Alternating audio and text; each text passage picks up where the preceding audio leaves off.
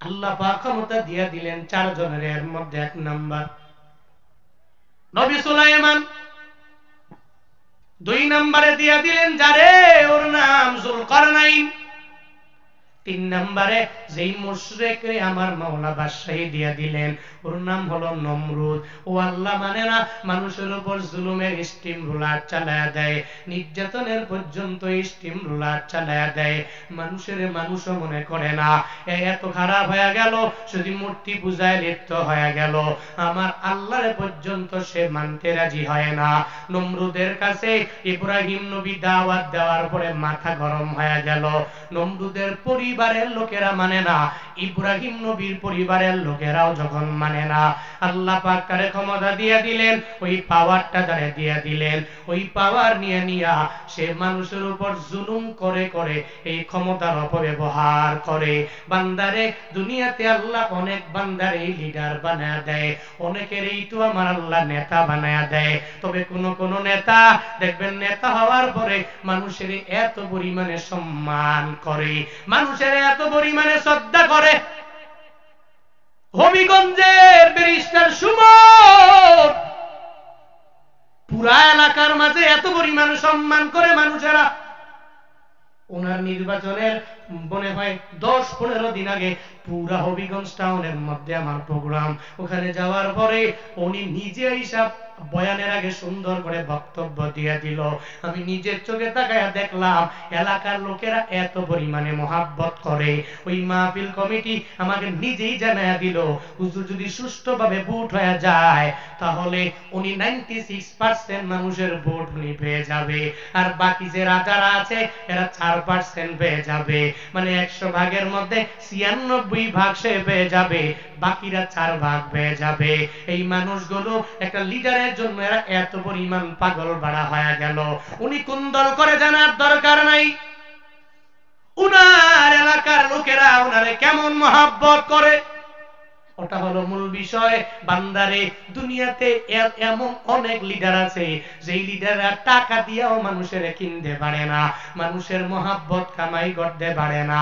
উপর দিয়া উপর দিয়া নেতা সামনে আসবে বলে ধন্যবাদ। ও নেতা, আপনার মতো নেতা আমার উপজেলায় লাগবে, আমার ইউনিয়নে লাগবে, আমার ওয়ার্ডের মধ্যে লাগবে।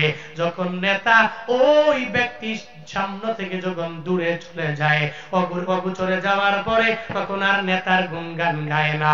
চা দোকানে বসে বসে ওই নেতার বদনাম করে, আছে নানা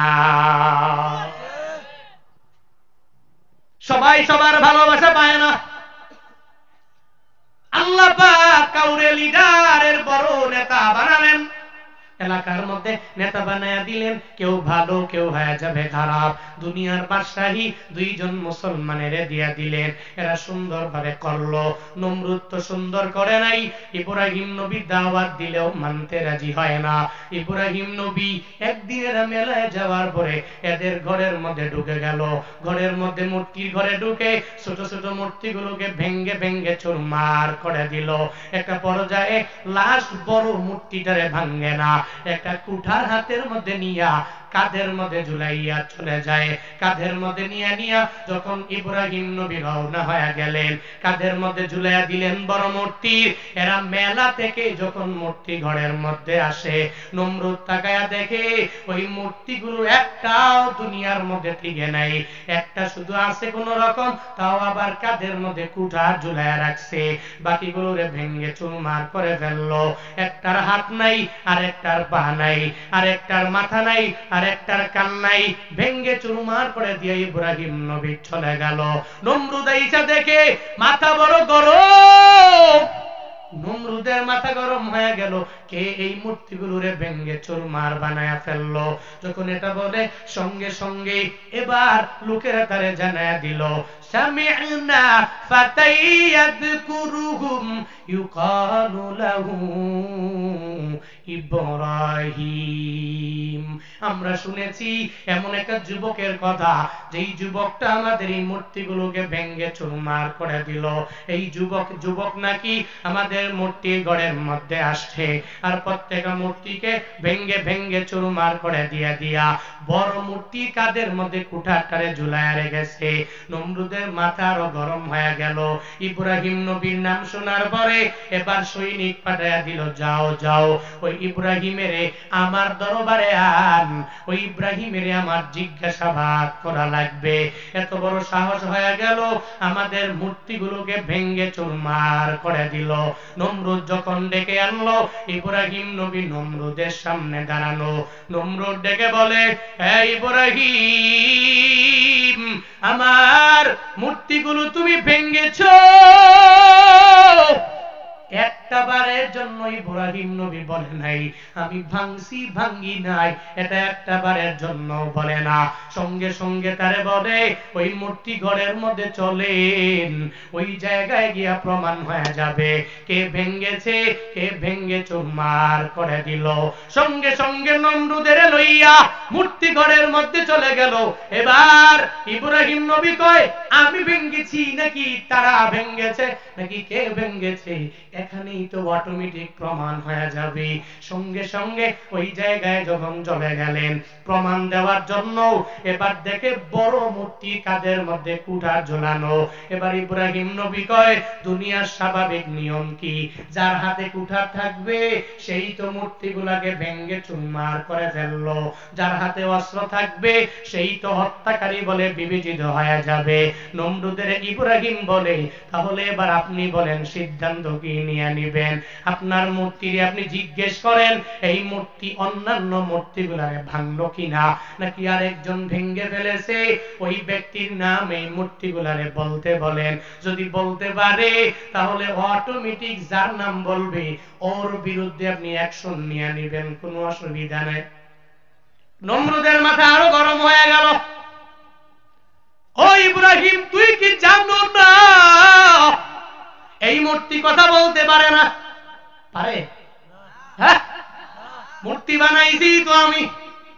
মূর্তি বানাইলাম আমি। এই মূর্তি কথা বলবে কেমনি? আমি মাটি দিয়ে বানাইলাম। সে তো নিজে নিজে কথা বলতে পারে না। ভেঙ্গেছে কে ওর নামটা কেমনে বলবে? এবার ইব্রাহিম নবী কয়ে হ্যাঁ নমরুদ, আমার মাওলার এত বড় ক্ষুদাদ্রোহী হয়েছ। আমার আল্লাহরে বাদ দিয়া বাদ দিয়া। এমন মূর্তি পূজার মধ্যে তুমি লিপ্ত হয়ে গেলা। যেই মূর্তিগুলো তোমাকে দিতে পারে না, যেই মূর্তিগুলো কথা পর্যন্ত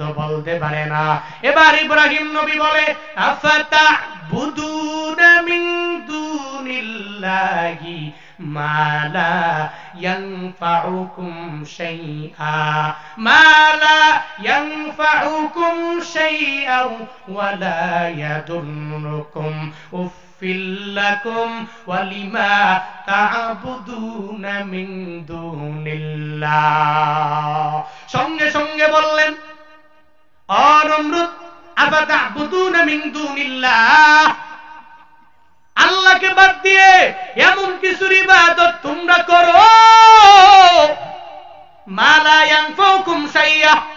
বিন্দু থেকে বিন্দু মাত্র পরিমাণ কোন উপকার করতে পারে না। বিন্দু থেকে বিন্দু মাত্র পরিমাণ। তোমাদেরকে ক্ষতিও পর্যন্ত এরা করতে পারে না।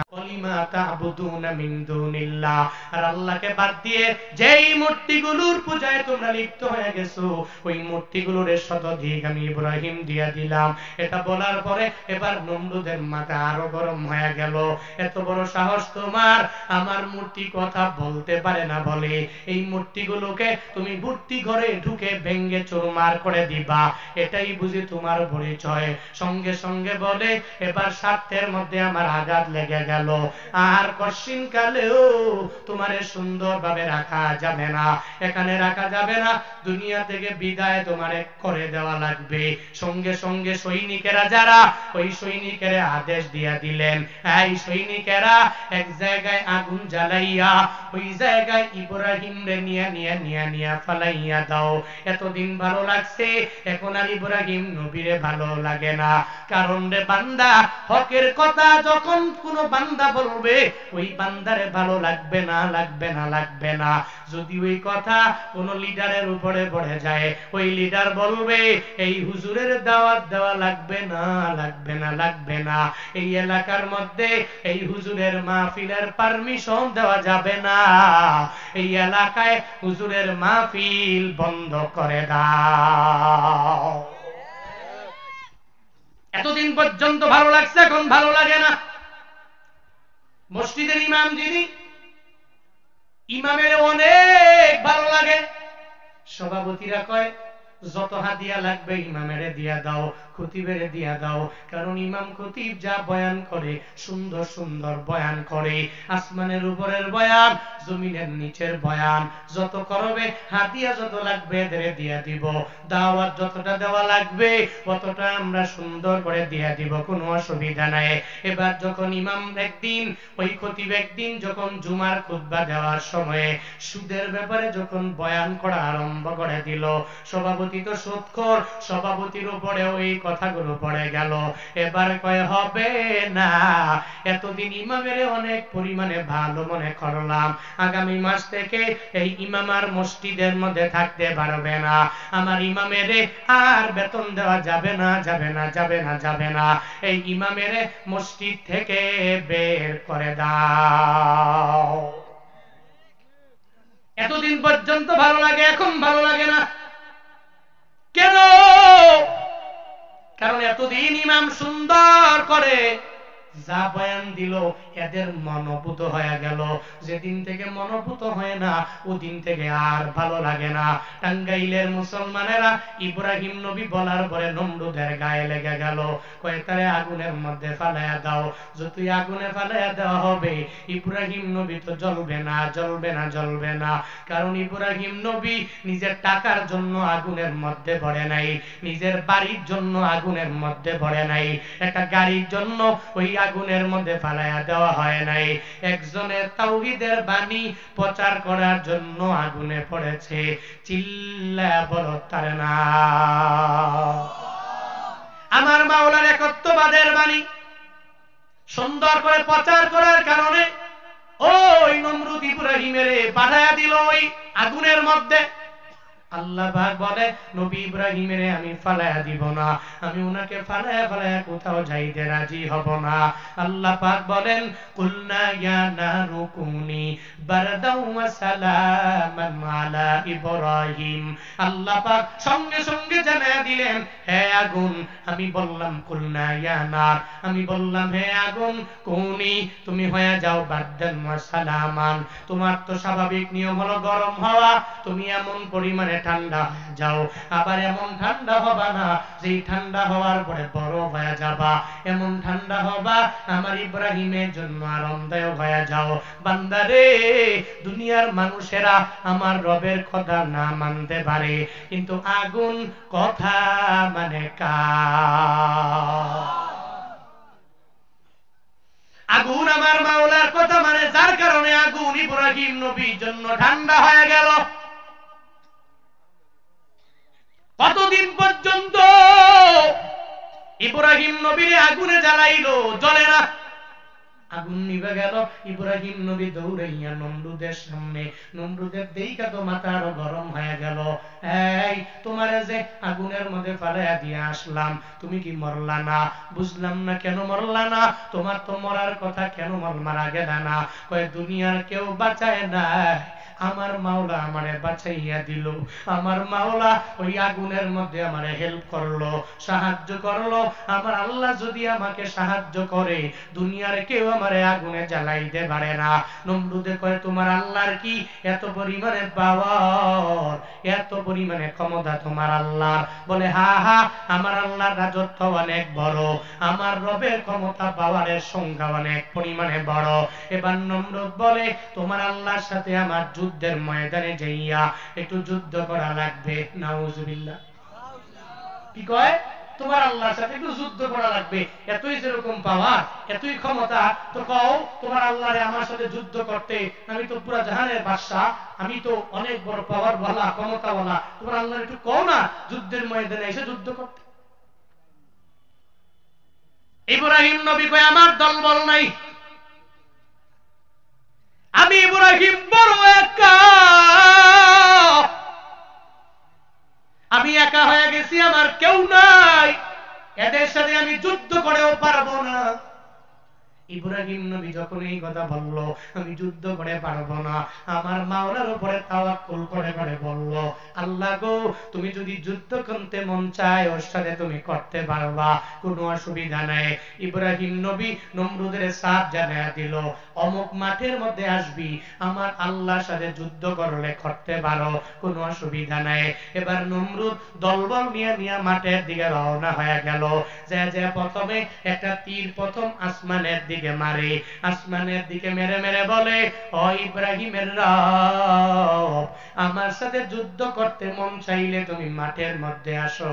আল্লাহ কয়, তোর মতো নমরুদের আমি রাজত্ব দিয়া দিলাম, ক্ষমতা দিয়া দিলাম। তোরে মারার জন্য আমার বাহিনী লাগবে না লাগবে না লাগবে না। আমি রবের মশা হইলেই হয়ে যাবে। একটা মশার দল আমি আল্লাহ পাঠাইয়া দিব। ওই মশার দলেরাই তোরে কামড়াইয়া এই ময়দান থেকে বিতাড়িত করতে পারি। মারার জন্য আল্লাহ কিছু লাগবে না। সৈনিক লাগবে না মশা হলেই হয়ে যাবে। কারণ মশা এত পরিমাণে গুরুত্বপূর্ণ এক প্রাণী, যেই মশার জন্য আশরাফুল মাকলুকাত পর্যন্ত মশারির মধ্যে ঢুকে। ঠিক নেই নামাজের মধ্যে দাঁড়ায় গেল। ইমাম সাহেব তিলাবাত করে। মুসল্লির গায়ের মধ্যে একটা মশা বসল। এমন জোরে থাপ্পড় মারছে, ইমামের তেলাওয়াত পর্যন্ত ভুল হয়ে গেছে। হ্যাঁ? এরা এই জন্য লাগাও। আমার আমি কত জানো? আমার জন্য এরসল বানাইল। আমার জন্য মশারি ওলারা মশারি বানাইল আমার এত পাওয়ার। আমি আশরাফুল মাকলুকা দেওয়ার পরেও তোমাদেরকে কি পরিমাণ জ্বালাতন আমি করতে পারি? এবার ওই মশাদেরকে আমার মাওলা আদেশ দিয়ে দিলেন মশারারে যাও যাও, ওই নমরুদের সাথে যুদ্ধ করার জন্য তোমরাই যাবা। এবার ল্যাংরা মশাও পাঠাইলো ল্যাংরা মশার পাশাপাশি ভালো মশারাও আসলো। নমরুদে কয়, তোমার আল্লাহর সাথে যুদ্ধ করার জন্য আমি রেডি হয়ে গেলাম। এবার সব মশারা কামড়াইয়া কামড়াইয়া এমন বানায়া দিল।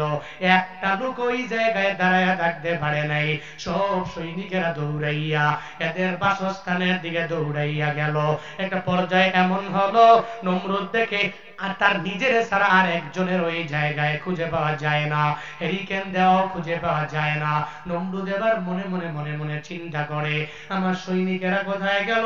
সবাই বলে মশার কারণে এরা একটা লোক ওই জায়গায় দাঁড়ায় থাকতে পারে নাই। সব এই জায়গা থেকে রওনা হয়ে গেল। এবার নমরুদ মনে মনে কয়ে, আমিও থাকব না। একটা মশা আমারে কামড় দেয় নাই। কামড় দেওয়ার আগে আমিও দৌড়াইয়া যাই। বাড়ির দিকে রওনা, নিজের বাসাই জেন্দিগি কায়েম করার জন্য রওনা হয়ে গেল। ওই জায়গায় যাওয়ার পরে সব সৈনিকদেরকে বলতে লাগল, সৈনিকেরা, তোমরা কেন সবাই দৌড়াইয়া আমাকে রেখে রেখে তোমরা কেন চলে আসলা? এটাই তো বুঝলাম না। করে মশায় কামড়াইছে। মশার ডরে আমরা বাড়িতে চলে আসলাম। নমরুদ কয়ে, দেখছ নি, একটা মশা আমারে ভয়ে কামড় দিতে পারে নাই। তোমাদেরকে ভয়ে ভয়ে এত পরিমাণে কামড়াইলো। একটু পরে দেখে মাথার মধ্যে কেন যেন কেমন জানি লাগে। মাথার মধ্যে কেমন জানি লাগে। জুতা একটা দিয়া, সেরা জুতা দিয়া দিছে বাড়ি। বাড়ি দেওয়ার পরে দেখে যে বাড়ি দিলে একটু বড় মজাই লাগে। মজা লাগে, একটু পরে মজা লাগে, আবার যখন একটু আনিজি ফিল হয়ে যায়। এরপরে আবার জুতা দিয়ে আর একটা বাড়ি মারে, দেখে আর একটু মজা লাগে। এবার কয়, নিজের হাত দিয়ে আর বাইরা মুনা। এবার আমার সৈনিক নেওয়া লাগবে, আমার সহযোদ্ধা নেওয়া লাগবে একজনের আমার চাকর নেওয়া লাগবে। যার মাধ্যমে আমাকে বারবার বারবার বাইরাইবে, জুতা দিয়া বাইরাইবে, আমি আরামে সুন্দর করে আমি ঘুমাইতে পারব। চাকর একটা রেডি করে দিল। জুতা দিয়ে একটা বাড়ি দেয়, একটু মজা লাগে, আবার বাড়ি দেয় আর একটু মজা লাগে, আবার বাড়ি দেয় আর একটু পরিমাণে মজা লাগে। চল্লিশ বছর হয়ে গেল। নমরুদ কোনো কাজ করতে পারে নাই ঠিক মতো ঘুমাইতে পারে নাই। একটু ঘুমাইলে আবার যখন খারাপ লাগে জুড়ে জুড়ে জুড়ে জুড়ে জুতা দিয়া বাড়ি মারে। এবার একদিন এক চাকর বলে, আমি তোর চাকরানি কতদিন কতদিন হয়ে গেল আমি করি? আর আমি করতে পারব না। আমার আর সবর নাই, আমার আর ধৈর্য নাই। সঙ্গে সঙ্গে একটা পাথর দিয়ে এমন জুড়ে জুড়ে মাথার মধ্যে বাড়ি মারলো। বাড়ি মারতে দেরি, পুরা জাহানের বাদশাদারে আমার মাওলা বানাইছিলেন। জান্নাত কামাই করতে পারে নাই, নিজের জালেম বানায়া জাহান্নামি হয়ে গেলেন। ল্যাংরা মশা আমার মাওলা দরবারে চলে যায়। আল্লাহ পাক যুগে যুগে কত নেতারে এমন পরিমাণে হেনস্থা করলেন। নমরুদের পতন হয়ে গেল।